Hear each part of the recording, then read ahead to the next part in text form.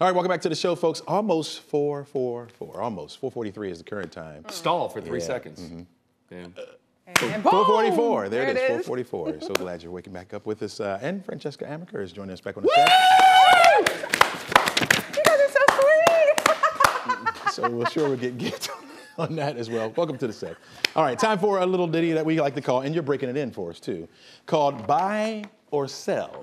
Buy or Sell. We'll tell you about three stories, and you let us know if you're buying into it or you're going to sell it. Get rid of it. You guys ready for this? Let's do it. All right, let's start off with one of my favorite TV shows, next to The Morning Rush, of course, The Walking Dead. A lot of folks thinking this show is over because the show has saw its lowest ratings uh, in about five years, uh, pulling in uh, 8.92 million viewers this last Sunday. Now, it had, did go up against the World Series and uh, Sunday Night Football, but that was the lowest it's seen since 2012, the season finale, the season finale of uh, season two in 2012. So a lot of people thinking this show is over. Are you buying or selling, Francesca? You have to sell it, Chesley. Really? You have to ch- you have to sell it because this show went from this compelling soap opera Mm-hmm. to now this cartoonish feel, and people are not buying it. Like it. Last season, 17 million people watched on the premiere, right?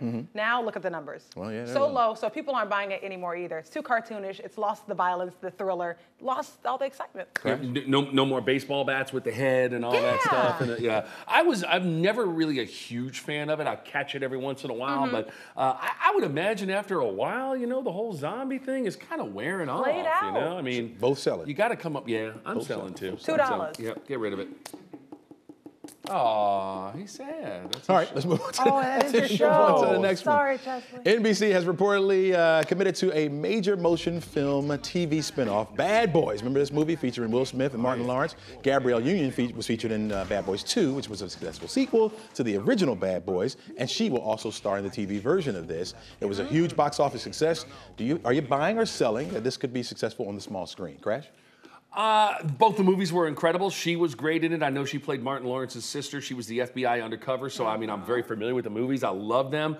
Uh, I, I think she could pull that off. Yeah, I think the ladies are getting bigger roles in Hollywood, stronger female presence, like the whole Wonder Woman year. I, I think so. Yeah, if they Buying? get some good scripts, let's get it going. Oh, you know I'm I'm buying. buying. I'm buying because Gabrielle is winning right now. She just came out with a best-selling book. She's also just wrapped up being Mary Jane, and I'm just gonna say, black girls are winning. Yeah. Oh, All right, so both Black girl magic, black girl magic. We're Black girl rooting for you. Gabby. You guys are agreeing. This is There you pretty go. good. Pretty good. All right, last one. Last one. All right. So the Georgia Bulldogs take the number one spot in this year's first college uh, rankings. This is the uh, what's this now? The third year that they've been putting this out. It started back in 2004, where they peaked at nine, and then they lost to Georgia Tech at home, and then they dropped down to 15.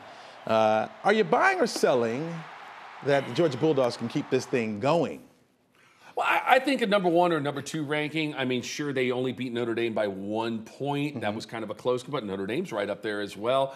Uh, you can't overlook South uh, Carolina coming up this week, and you can't overlook Georgia Tech. It's always a tough game, but I, I, I'm buying it. Buying I'm okay, buying it. E- even though you're above Alabama, and Alabama Nation right now is, oh, and Nick Saban's like, oh, there's poison in the Kool Aid. Uh, I'm buying it. Georgia's a pretty solid team. Buying or selling quickly? I'm definitely buying. I love Georgia, and plus we have a big fan base here, so buying. Okay. Buying. Okay. Very good. Very good. First one. Broke it in. And, and by the Very way, good. we all know that Right, Nick right. Saban is the devil. That's his name. All right. Folks, don't go anywhere. We'll be back right after this. it was his birthday yesterday. Happy birthday, devil!